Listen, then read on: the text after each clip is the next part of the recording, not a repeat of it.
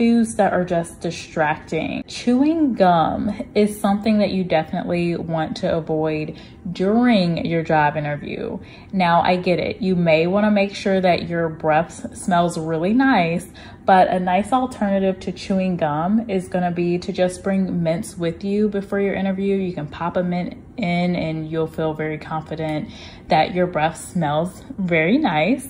With chewing gum, the reason I say to avoid it is just because it is very distracting. You want to come across during your job interview as confident and with a very strong communication.